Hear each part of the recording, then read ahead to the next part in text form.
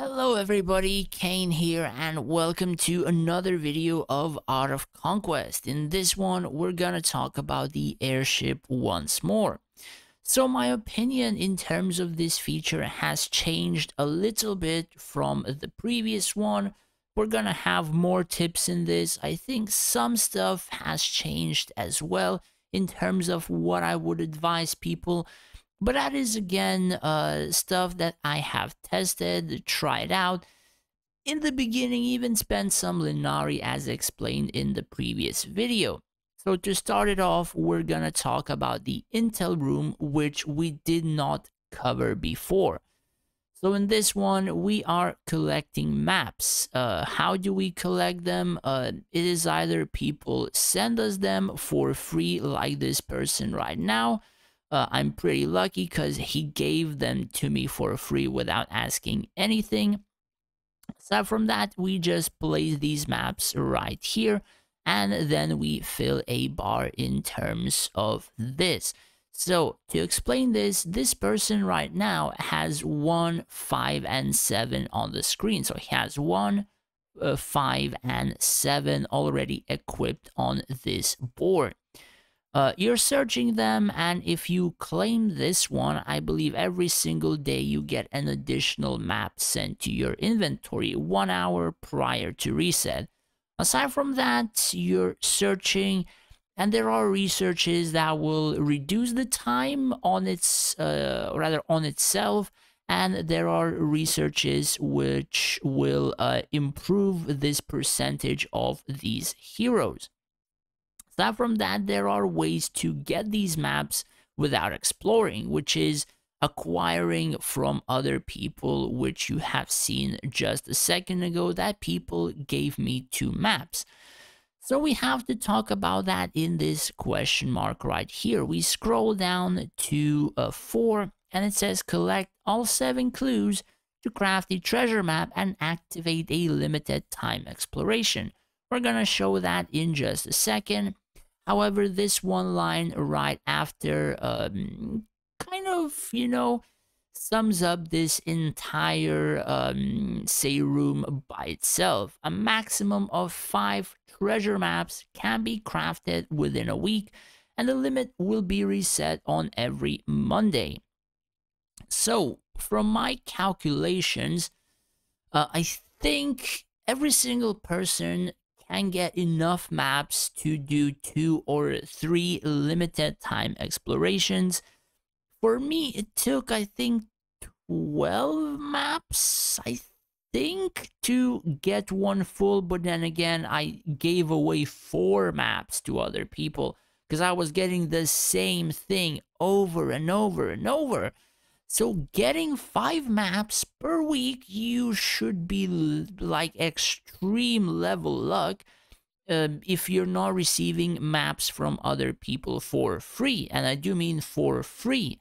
So that one particular section kind of says that if you make alts and those alts are just giving you all of these maps for you to craft this, you're gonna five exploration every single week and it is kind of even advised.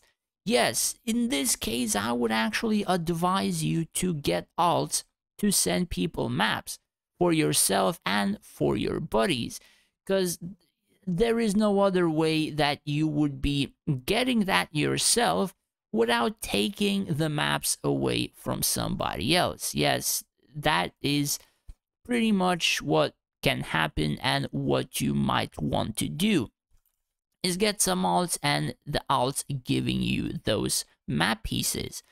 So one of the treasure maps I have unlocked and it is called Rare Exploration. So I think there is common, uh, I, think Killing showed in one of the group chats a common one which did not have this Divine Spirit Stone.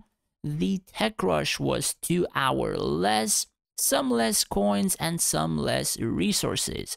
So, uh, I do believe that upgrading the intelligence room raises the quality or the chance for higher quality. So we have common, rare, then uh, it turns to elder after rare, and then elder turns to divine. So I do believe there are four treasure maps, but then again, um, I'm not entirely sure if level 3 is the maximum. So we're gonna see that after a couple of days once I'm gonna level the energy chamber and then the intelligence room. So after, uh, or rather, um, pretty much the top things to upgrade in this particular uh, feature is deck level 4 hands down probably the best thing or second best thing to upgrade. Probably the first one is actually the intelligence room. The faster you start the faster you get these explorations the more materials you're gonna be able to grind because if you're able to grind this five times per week pretty much like you're getting almost four or five days worth of rush for research. Then, of course, all of this comes into daily materials for crafting. And if you luck out better maps, probably you're gonna get more Divine Spirit Stones or even other good stuff that you um, cannot acquire easily, I suppose, because a Divine Spirit Stone as a reward is pretty friggin' decent. So I commend, uh, I suppose, the Lilith staff actually giving or starting to give those materials for free. And of course, uh, the exploration. I do believe that the further you go, the better the stages get at exploring. These ones you can explore every day multiple times. So if you just want to go ham on one uh, exploration and just quickly level it, I think you can. However, these daily ones are actually stuff to go for. And I would advise to go for the dailies probably on most of them. Simplest of reasons is because if you see these two, they have the same amount of time, they have the same amount of exploration uh, experience. However, if you check the resources, it's like twice less than the daily one. So pretty much works the same for all of them. So if you really want to grind some of those resources, be aware that the daily ones give a ton of stuff. So you likely want to cover that on every single, say, um, I guess, uh, stage in here, and then just go ham on the one you really want. Aside from that, uh, we have to talk about the metal shop and the process shop. So I've checked around and really the only things craftable at the moment is the attribute card uh, chest as I've said before. There is nothing really that enticing uh, without proper lab upgrades. And I think you might be able to get some of these materials back if you do upgrade that. So the only thing that I would kind of value decently is this draconic dust. Aside from draconic dust, I don't think anything is that good in here. And like most of the other resources should only be used in the process shop. So in terms of the process shop, you're able to uh, craft stuff like this Have already crafted, I have redone this video a, a second time right now. So I'm not entirely sure if I'm gonna get a rebate out of these, but it's best to save these resources until your lab research is a lot higher. Reason for that is you're likely gonna reduce the amount it takes to craft one by like 10% or more so this 12 could likely turn to 11 or 10. Then you would be able to increase this chance from 10% to 20%. And if you level the ability of uh, the heroes, could be that this would turn, uh, or rather this 7 could turn to 10%. So you would have 20 plus 10, 30% chance to get some of the materials back. So let's try it one time uh, we hit it, we hit it one time out of the two, and we got one material back. So that is what is gonna happen with those percentage chances. We're gonna raise this, we're gonna get one material per craft if we do proc it, the rebate thing, and we're just getting some of the materials back to then craft again to then get a ton more experience. So that is why I would highly, highly suggest if you don't really require these things right now, if they're not going to make a huge difference for you in terms of account, realm, PvP, event wise, and all that kind of stuff, save these resources for later whenever you upgrade your lab. Um, simply because you're just gonna be getting a ton more resources later than you will get now. Again, that depends on your realm, whether you require it now or it would be more beneficial for you to wait a little bit later. Simply because there are plenty of research, uh, rather researches, uh, which include, um, improve the uh, return chances, improve the uh, one moment, uh, process savings, which reduce the cost. I think this would reduce the cost of those 12 purple or yellow bricks or, or whatever for the hero XP uh, by 10% at level 10. So essentially we would be reducing one of those materials. Then of course we have this one which will be upgrading the skills of say even Denji. So there are nuances where it is just better to wait to upgrade and then of course benefit from the efficiency of just saving that stuff. Again, depends whether or not you can save them for later or again, you would be able to use them to a pretty good extent right now. Aside from that, we have to talk about lab and what you should be upgrading. So I was testing some of these researches out uh, and from my like knowledge and stuff like that metalworking savings not that useful. Uh metalworking improvements not that useful. You don't have almost anything to craft at the metal shop. Pretty much you're crafting the hero stat cards and that's it. So if you want a little bit faster stat cards sure but that is not really what you should be aiming for so I would suggest energy improvements one, energy improvements two, and what will that do is you're gonna have Tisafin always doing at the max level of 18%, and you're gonna have Valerie at 16% doing it all the time as well. If you go for the next one, likely Avril turns to 20%, so is like she's gonna be better than Valerie. But then again, that lab research would take, uh, I guess, uh, one moment. Uh, where is it? Uh, 11 hours. So that's 11 hours throwing for um, maybe 0.2 more hammers per hour. So that would be like five additional hammers per day. So it really depends if you value that more than say upgrading like intelligence, which I am doing right now. Cause um, in the previous video, I didn't really have this, I didn't explain this, I thought it was dragon maps. Apparently, it's a lot better. So personally, I would just rush the intelligence things. Um, as you can see here, I leveled one of them right here.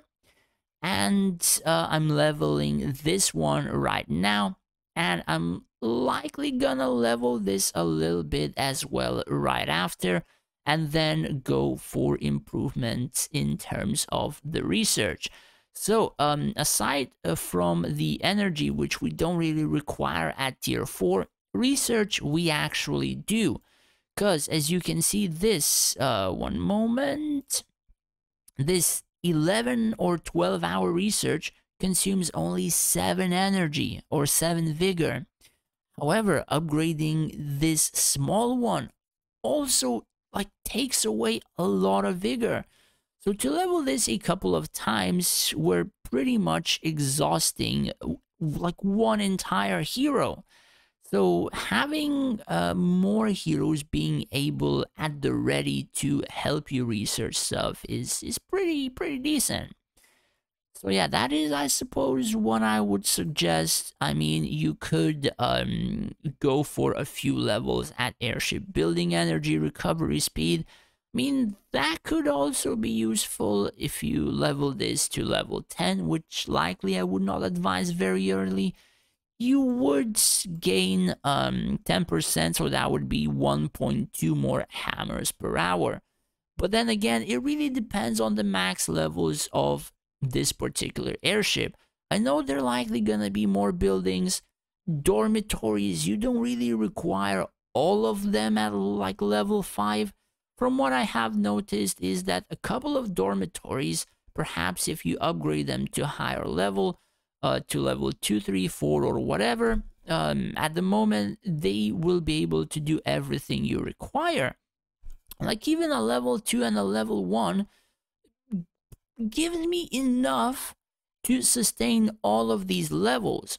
I mean, I'm gonna upgrade Melee Shop to level 3 eventually, level 3 eventually, and that's gonna fill in the last two for the quota in the dormitory.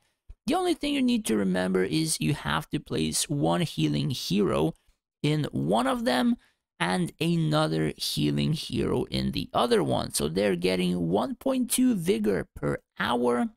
And in this one uh, 1.35 vigor per hour. So you don't even need an entire day for them to regenerate fully.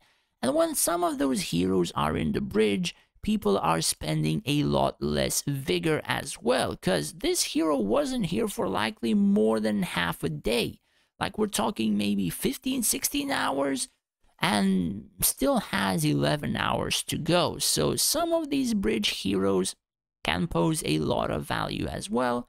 So it really, really kind of depends. So um, if you would ask me what are the best buildings hands down to upgrade, I will tell you deck, probably one of the top ones. If not the top one, then intelligence rooms, because you're gonna be getting a ton of those materials from Intel Room as well. Aside from these two, lab is incredibly important. Incredibly important. Like you require to research stuff faster. You're gonna get those percentages improved, all of that kind of stuff. Literally, three buildings determine how well your airship is Of course, other buildings are giving you some stuff, are regenerating your heroes, providing you hammers and whatever. But like upgrading your energy chamber, uh, I tried to test it for as high as possible. Not really that efficient if you have not hit the cap on the energy, etc. So that is, I suppose, pretty much it. Everything else is the same as my other video for now. Uh, I have talked about research, talked about intelligence room. I have explained about the alts benefiting people. I already sent one alt into my realm. I'm waiting for another alt to get bandit so he can clear void to level 20 to then be able to buy maps and stuff. Yeah, that's also a thing. So if you buy maps, you can even get level 15 alts sending you maps as well. That's again a thing. And again, five per week of these things incredibly, incredibly important that you should not miss out. It's just free stuff that you would be throwing away. Anyways, that's pretty much it for the video. Hopefully you enjoyed it. Hopefully you learned something new. If you did, do hit that subscribe button. It would help me out a lot. As well as if you would wish to support me more than just watching my videos, I have made a Patreon page where you would be able to do just that. In return, I would be able to help you out more individually in terms of events, PvP formations, and stuff like that. As well as I would like to thank all of my patrons for the support. I really, really appreciate it for your subscriptions. Thank you guys so much. Thanks for watching. Take care and stay safe out there.